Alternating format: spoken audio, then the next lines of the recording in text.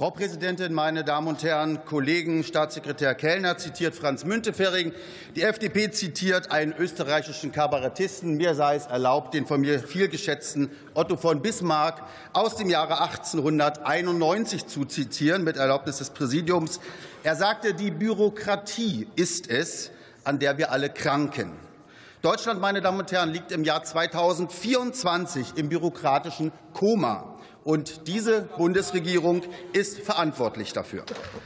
Kern heutigen Regierungshandelns ist Kontrollieren, Auskundschaften vorschreiben, verbieten und bei Ungehorsam gängeln. Und genau deshalb Genau deshalb krankt Handwerk und Wirtschaft. Genau deshalb wandern immer mehr Unternehmen ins Ausland ab, wandern immer mehr Fachkräfte ins Ausland ab. Oder sie geben eben ganz auf. Liebe, liebe Kollegen, wir brauchen weniger Staat und mehr Freiheit. Steuerdschungel, Berichts- und Dokumentationspflichten, Statistikpflichten, gar nicht zu reden von den unsäglichen Gesetzen wie dem Heizungsgesetz oder dem Lieferkettengesetz, ihrem ganzen religiös-ökologischen Firlefanz. Und alles, was der Bundesregierung einfällt, ist die Verkürzung von Aufbewahrungspflichten für Belege von zehn auf acht Jahre. Dieses Bürokratieentlastungsgesetz verhöhnt Unternehmer und Arbeitnehmer. Es ist ein 190 Seiten langer Witz, meine Damen und Herren.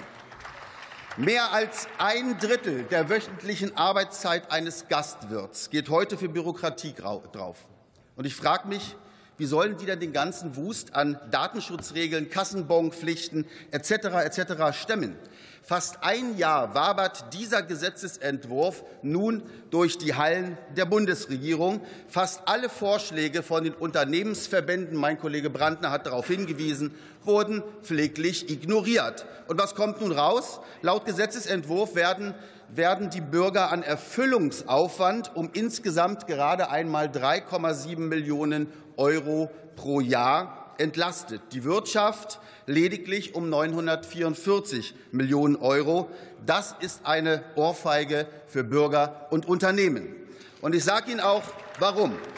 Wenn ich mir das anschaue, Dr. Plum hat ja bereits auf den Erfüllungsaufwand hingewiesen. Allein das Gebäudeenergiegesetz bedeutet einen einmaligen Erfüllungsaufwand von 127 Millionen für die Bürger und 12,5 Milliarden Euro für die Unternehmen.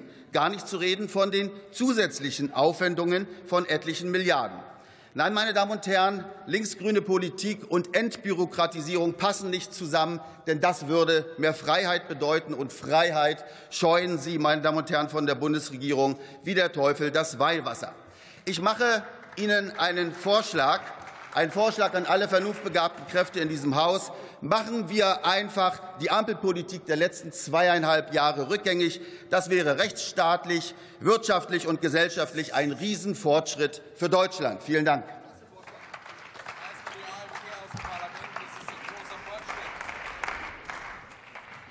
Als Nächste hat das Wort für die SPD-Fraktion Sonja Eichwede.